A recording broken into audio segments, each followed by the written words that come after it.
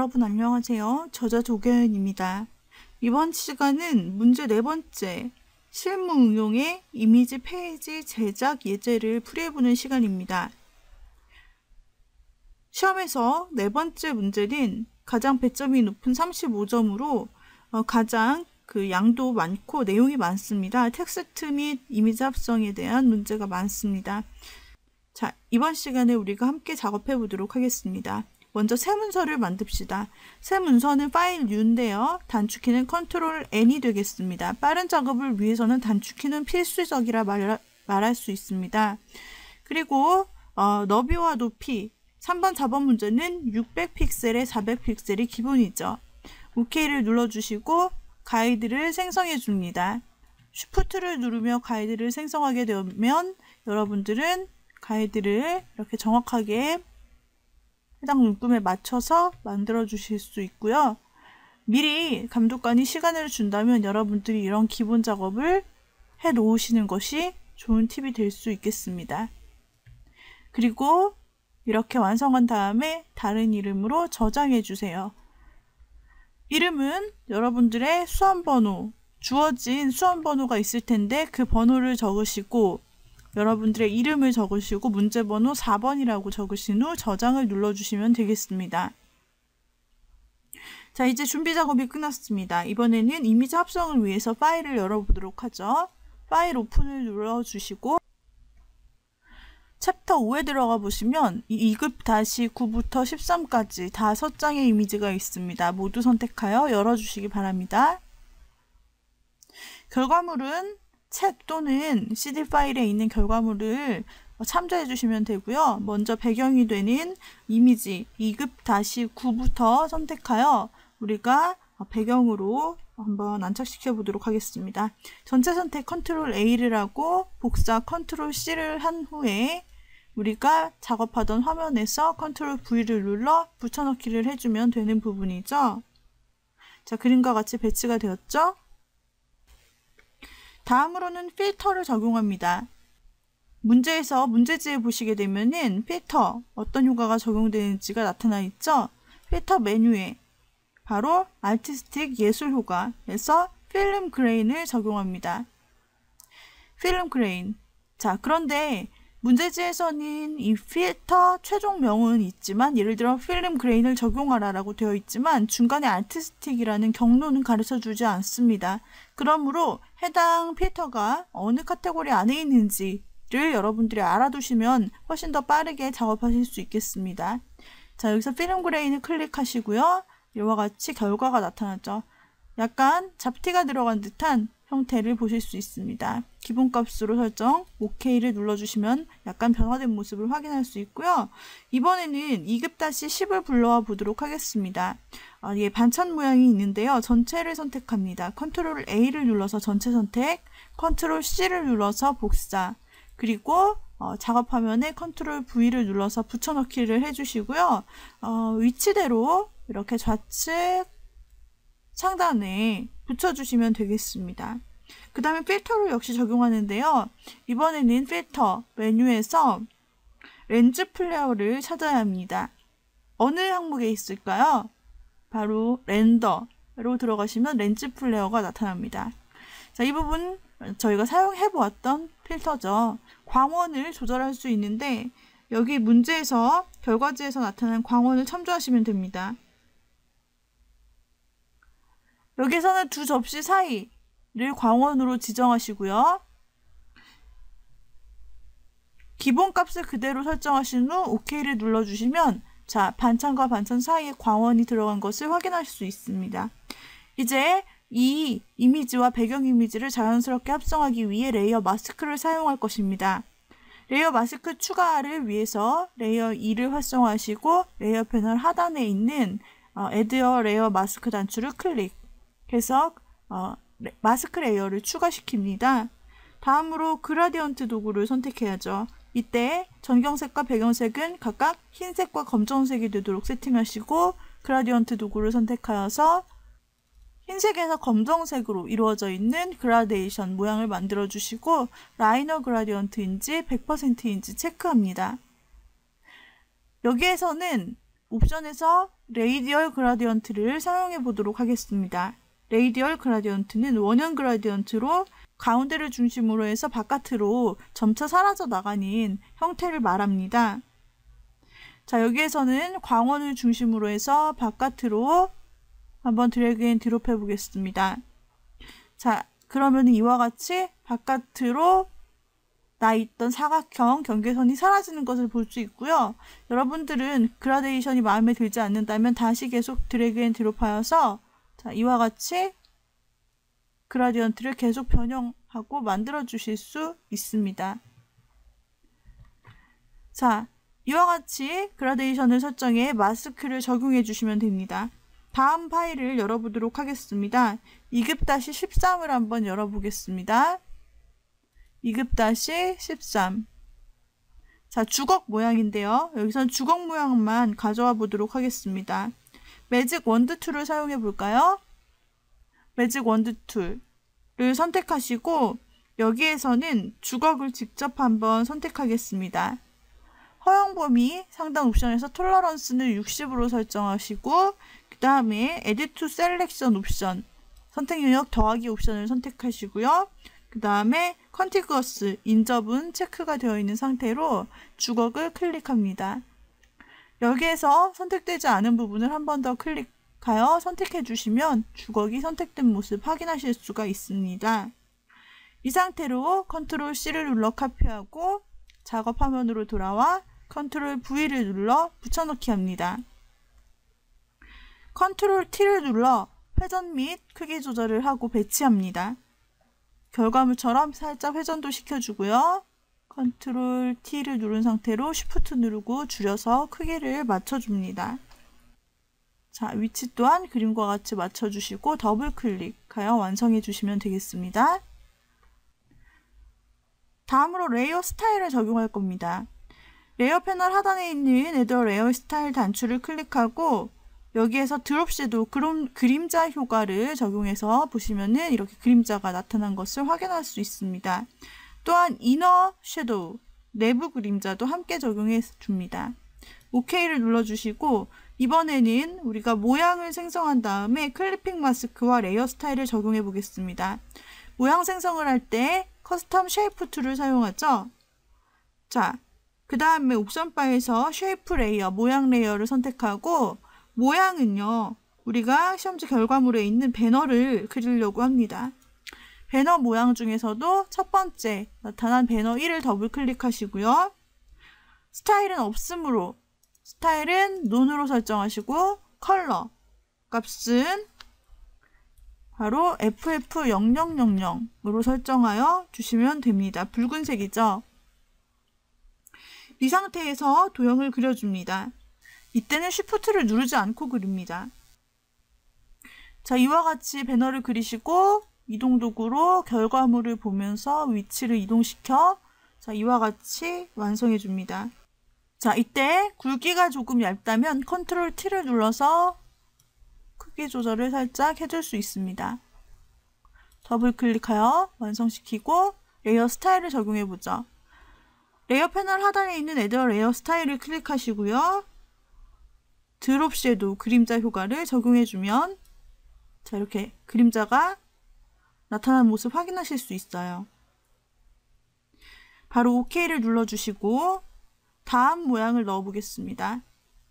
custom shape tool 사용자 정의 모양을 클릭하시고요. 옵션 바에서 역시 shape layers로 선택하시고 모양 이번에는 사각형, 모서리가 둥근 사각형을 선택해 보겠습니다. 자, 클릭해서 보시면은 모서리가 둥근 사각형 모양이 있습니다. rounded square라고 더블 클릭하시고요. 여기에서 바로 그림을 그려볼까요? 여기에서는 두 번째 세로선 위치 시작되는 부분부터 이와 같이 그림을 그려보겠습니다. 이때도 Shift는 누르지 않고 어, 바로 그림을 그려서 자, 이와 같은 모양으로 만들어 보겠습니다. 그 다음에 여기서는 스타일을 없음으로 설정을 해주시고요. 컬러는 흰색으로 F6개짜리로 변경해 주시면 됩니다. 자, 이 자리에는 사진이 들어갈 것입니다. 자, 일단 위치를 이동시켜서 결과물과 유사하게 만들어 보시고요. 자, 그 다음에 layer 스타일을 적용하겠습니다. layer 패널 하단에 있는 add layer style 단추를 클릭한 다음에 drop shadow를 선택. 그리고 다시 가장 하단에 있는 stroke를 선택하여 사이즈는 2픽셀을, 컬러는 F6개가 있는 흰색을 설정해 줍니다. OK를 눌러 주시고요. 이제 이 안에 들어갈 파일을 찾아보겠습니다. 2급-11 파일, 바로 음식 파일인데요. 모두 다 선택합니다. 컨트롤 A를 눌러 전체 선택, 컨트롤 C를 눌러 복사, 다시 작업 이미지로 돌아와 컨트롤 V를 눌러 붙여넣기 하고 이동 도구를 선택하여 이 도형을 덮을 수 있도록 이렇게 덮을 수 있도록 배치합니다. 다음으로 layer 패널에서 사진의 opacity를 80%로 적용하고 Enter를 눌러 보시면 사진이 반투명해진 것을 알 수 있습니다. 이제 clipping layer mask를 적용해 보겠습니다.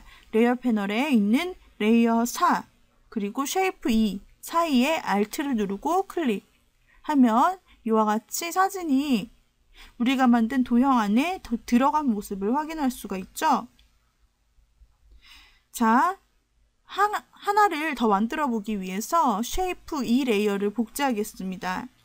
shape 2 layer를 선택한 후에 컨트롤 J를 누르면 layer 복제가 됩니다. 자, 그래서 이 복제한 layer를요, shape 2 layer를 선택하고 이동 도구로 이와 같이 이동시키면 똑같은 모양이 나타나죠? 이것을 결과물처럼 배치시킵니다. 살짝 옆으로 아래로 이렇게 배치를 시키면 되겠죠? 자, 그 상태에서 똑같은 방법으로 파일을 불러와서 여기 clipping mask로 덮어 쓰도록 할 거예요. 이번에 불러올 파일은 2급-12가 되겠습니다. 네, 초밥 이미지입니다. 컨트롤 A로 전체 선택하고 컨트롤 C로 복사한 후 작업 이미지로 돌아와 컨트롤 V로 붙여넣기 합니다. 이동 도구를 선택해 역시 도형 위에 딱 맞게 들어갈 수 있게 맞춰주세요.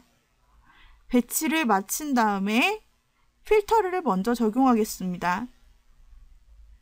필터 메뉴에서 texture라고 하는 필터에는 텍스처 라이저가 들어있습니다.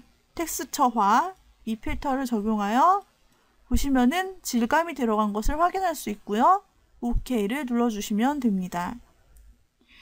자, 이제 layer mask를 적용하기 위해서 clipping layer mask를 적용하기 위해서 layer 5와 shape 2 사이를 Alt 누르고 클릭해 주시면 그림과 같이 도형 두 개에 사진 두 개가 clipping mask layer 처리가 되어 들어간 것을 확인할 수가 있습니다. 자, 또 다른 도형을 만들어 보도록 하겠습니다. custom shape tool을 선택한 후에 이번에 옵션 바에서 역시 shape layer로 선택을 하시고요. 그 다음에 모양 부분에서는 이번에는 seal, 직인 모양을 선택을 해 주도록 하겠습니다. 그리고 스타일은 없음으로 그리고 컬러는 임의 색상으로 설정해서 오른쪽 하단 빈 부분에 그 사진 옆에 주걱 밑에 빈 부분에다가 도형을 이와 같이 그려줍니다. 여기에는 글자가 들어갈 것입니다. 결과물을 보시면서 유사한 크기로 이렇게 도형을 그려주시면 됩니다. 스타일을 적용할게요. layer 스타일을 적용하기 위해서 하단에 layer 스타일 적용 아이콘을 클릭하시고 drop shadow를 클릭하여 그림자 효과를 이와 같이 적용합니다. 또한 gradient overlay를 함께 적용하고요. 여기서 색상 gradient 부분을 클릭하여 첫 번째 color stop을 더블 클릭하고 첫 번째 color stop 부분에는 다음과 같이 입력합니다. 996600 자, 다음으로 우측에 있는 gradient color stop을 더블 클릭한 다음에는 FFCC00으로 설정합니다. 자, 그러면 이렇게 황토색에서 노란색으로 번지는 그라데이션 모양이 완성되었고요. 확인을 눌러주세요. 다른 옵션은 변화 없이 OK를 눌러주시면 이와 같이 황금빛으로 그라데이션 된 모습을 확인할 수가 있습니다. 다음으로 문자 입력 및 레이어 스타일 적용을 해보도록 하겠습니다. Horizontal Type Tool을 선택하시고 상단 폰트에서 돋움체로 그리고 글자는 40포인트로 입력하여 엔터를 눌러주시고요. 글자 컬러를 클릭하여서 FFFF00 노란색으로 설정하여 OK를 눌러줍니다. 여기서는 왼쪽 정렬로 정렬을 한 다음에 배너 빨간색 배너 왼쪽 상단에다가 글자를 입력해 보도록 하겠습니다. 자, 클릭하시고 한글로 숨은 맛집 찾기라고 입력합니다. 뒤에다가 프로젝트라는 글자를 덧붙여서 숨은 맛집 찾기 프로젝트 자, 띄어쓰기도 해주시고요. 이와 같이 입력하시면 됩니다. 자, 다음으로 레이어 6을 선택한 후 이동 도구를 가지고 이와 같이 위치를 맞춰주세요. 자, 되었다면 이 상태로 다시 Horizontal Type Tool을 선택하여 맛집 부분만 드래그 하시고요. 이 상태로 폰트 사이즈 옵션 상단 옵션 바에서 글꼴을 50포인트로 늘려 엔터를 누르면 지금 화면에서 보시는 대로 이렇게 맛집 부분만 크게 나타나서 강조된 것처럼 나타나게 되죠. 자, 이와 같이 적용을 하시고 레이어 스타일을 한번 적용해 보겠습니다. 텍스트 레이어를 클릭한 다음에 하단에 있는 Add a Layer Style 단추를 클릭하시고요. 여기서 먼저 Drop Shadow 그림자 효과를 적용하시고 다음으로 밑에 하단에 있는 Stroke 선을 선택해서 크기를 2픽셀로 조절 그리고 컬러는 검정색으로 0 6개로 조절하여 OK를 눌러주시면 그림자가 드리워지면서 테두리가 있는 텍스트를 보실 수가 있습니다. 자, 되셨다면 OK를 눌러주시고 또 다른 폰트를 입력해 보겠습니다. 역시 Horizontal Type Tool을 선택하신 채로 이번에는 역시 돋움체로 폰트 사이즈는 이제 우리가 입력을 한 다음에 커서를 넣은 다음에 변경하겠습니다. 왜냐면 이 상태 그대로 변경을 하면은 기존에 있는 폰트가 다 변경이 되니까요.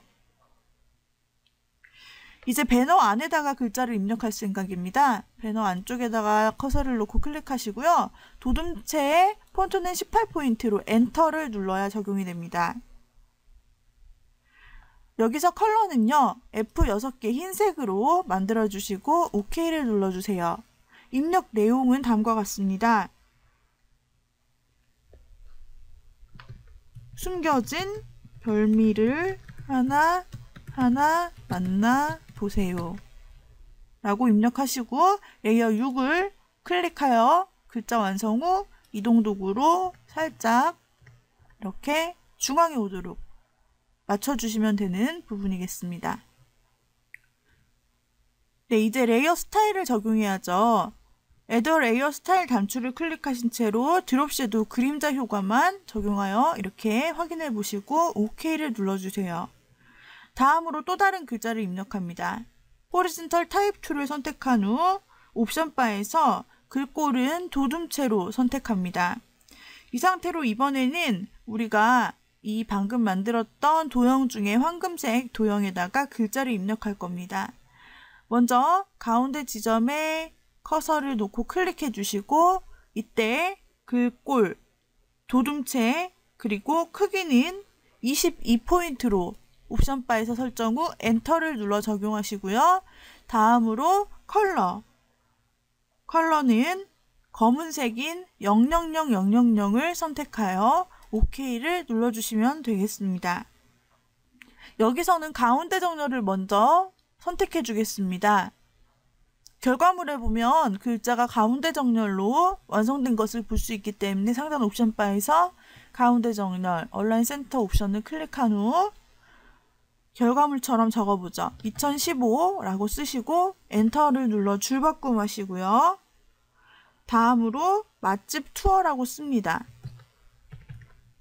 맛집 투어 엔터 눌러 줄바꿈 후 수기 모집 까지 입력하시고 만들어진 레이어 6 텍스트 레이어를 레이어 패널에서 클릭 그 다음에 중심으로 옮겨볼까요? 자, 이동 도구 Move Tool 선택하시고 상하 좌우 방향키를 키보드에서 이리저리 움직여서 중앙에 위치할 수 있게 이렇게 살짝 이동시켜 주시면 됩니다. 자, 이렇게 되면은 지금 모든 부분이 완성되었습니다. 여기서 먼저 파일 Save를 눌러서 저장해 주시고요. 그 다음으로 최종적으로 제출을 위해서 우리가 모든 가이드를 삭제합니다. View 메뉴에서 Clear Guides를 클릭하여 모든 가이드를 삭제하시고 다음으로 바로 JPG를 저장하는 것이죠. 파일 Save As를 눌러 포맷을 JPG로 설정하시고 여기에서 바로 저장을 누른 다음에 Quality를 8로 설정한 후 OK를 눌러주면 되겠습니다. 다음으로는 10분의 1 사이즈로 줄인 어, PSD 파일을 전송하셔야죠. 10분의 1 사이즈로 줄이기 위해 이미지 메뉴에서 이미지 사이즈 60, 40으로 가로 세로로 맞추신 후 OK를 누릅니다. 그 후 파일을 세이브하여 PSD 파일을 저장해 주신 다음에 모든 JPG와 PSD 파일을 최종적으로 우리가 컴퓨터에 있는 버튼, 답안 전송 버튼을 시험장에서 클릭하면 감독관 컴퓨터로 전송이 되겠죠. 이렇게 해서 1번부터 4번까지의 모든 문제들을 PSD와 JPG 각 두 장씩 하여 총 8개의 파일을 제출하시면 종료가 됩니다. 한번 제출을 하셨더라도 다시 한번 수정해서 또 제출하는 것은 문제가 되지 않습니다. 최종적으로 제출한 파일이 적용이 되기 때문입니다. 자, 이렇게 해서 우리가 1번부터 4번까지의 기출 유형 문제를 모두 다 풀이해 보았습니다. 여러분들께서 앞으로 문제풀이를 스스로 해 나가실 때 결과지를 보시면서 최대한 맞춰보도록 노력하시고요. 또한 나중에는 시간 배분 연습을 꼭 하셔서 어, 꼭 필요한 큰 배점의 문제가 너무 완성도가 떨어지지는 않는지 또 시간 배분이 부적합하지는 않는지 이러한 부분을 또한 체크해 보시기 바랍니다. 특히나 마지막 저희가 지금 함께한 4번 문제는 배점이 가장 큰 문제입니다. 이미지 소스도 많고 글자도 많지만 아주 어려운 기법은 없는 그런 문제이고 1, 2번 문제 같은 경우는 빠르게 처리를 할 수가 있습니다. 따라서 이러한 부분에 의해서 여러분들이 완벽하게 똑같이 하려고 하시지 마시고 비슷하고 최대한 유사하게 한다라는 생각을 가지고 어, 1번, 2번, 3번 앞에서 문제를 시간을 너무 많이 끌지 말고 4번에 가장 큰 비중을 두어주시는 것이 어, 어쩌면 팁이라고 할 수가 있겠습니다. 자, 이제까지 학습한 모든 수업을 토대로 하여서 여러분들이 GTQ 시험에서 좋은 결과 있으시길 기원합니다. 자, 이제까지 강의를 함께 들어주신 여러분 모두 수고하셨습니다.